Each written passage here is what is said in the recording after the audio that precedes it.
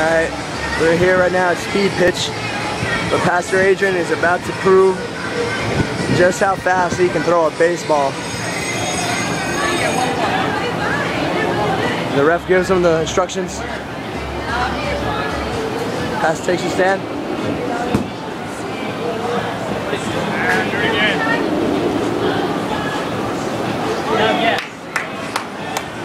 Let's go for another shot.